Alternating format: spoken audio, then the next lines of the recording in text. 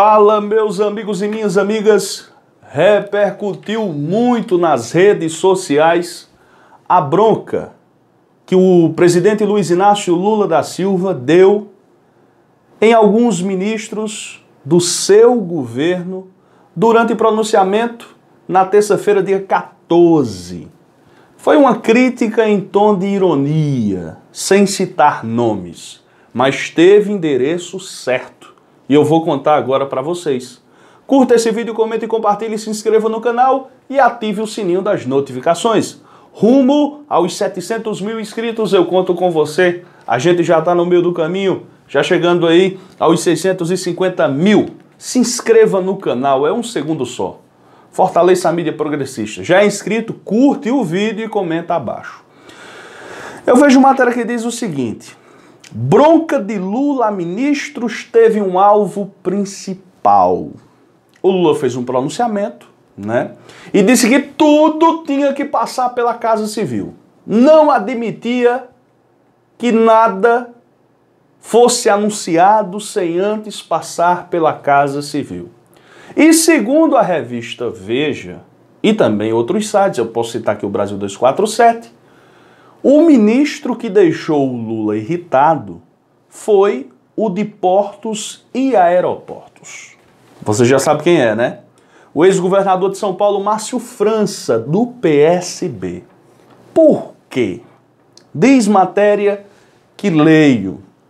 Não sei se vocês viram, mas o Márcio França anunciou numa entrevista, não sei a que veículo foi, um programa que o governo Lula vai implantar para que idosos, para que aposentados possam comprar passagens aéreas no valor de 200 reais. Não apenas aposentados, mas estudantes, outras pessoas. E o Ministério iria conversar com as companhias para chegar a um acordo e esse programa ser realizado. O Lula não gostou.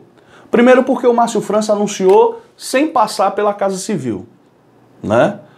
É, e sem passar por ele. Porque um programa dessa magnitude é muito importante.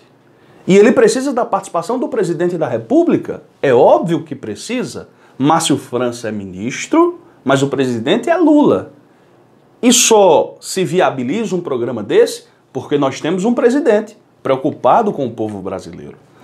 Na reunião, Lula pediu em tom de ironia que, abro aspas, toda e qualquer posição, qualquer genialidade que alguém possa ter, veja a ironia, é importante que, é importante que antes de anunciar, façam a reunião com a Casa Civil. Segundo a revista Veja, como frisei no início do vídeo, trata-se de Márcio França, que anunciou recentemente o programa Voa Brasil, de descontos em passagens aéreas para uma faixa da população. O plano prevê 12 milhões de passagens por ano. A publicação destaca que o Ministério do Turismo não foi informado com antecedência sobre o anúncio de França, o que levou a pasta a esperar por mais detalhes sobre a proposta ao longo da semana. Caso a implementação do programa ocorra sem problemas, o ministro acredita que o Voa Brasil poderá ser iniciado no segundo semestre, utilizando 5% da capacidade ociosa das aeronaves essa porcentagem será gradativamente aumentada a cada semestre, chegando a 20% no quarto semestre da operação é, de operação da política. Porque o programa é assim, eu vi o Márcio França dizer né, que muitos voos só têm 80% da capacidade. Ele quer pegar aqueles 20% e colocar pessoas, né, justamente essas pessoas né, com um poder de renda baixo, para que elas possam viajar. Porque tem muita gente que é aposentado, quer encontrar um filho, quer encontrar um irmão, quer encontrar um parente.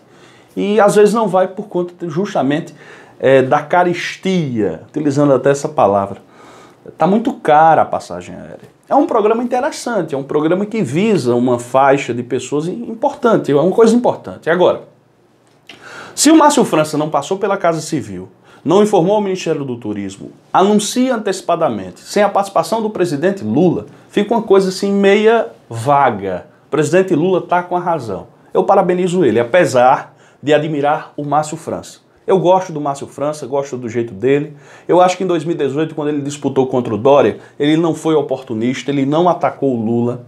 Vocês se lembram quando ele foi candidato a governador de São Paulo, ele perdeu por pouco para João Dória. João Dória, oportunista, atacou o Lula dizendo que de, iria, pra, iria é, deixar chocolates na cadeia para o Lula, é, fazendo ironias, se agarrando ao bolsonarismo. Eu gosto muito do Márcio França. Foi um ato falho dele? Foi, e, mas eu acho que a coisa será consertada.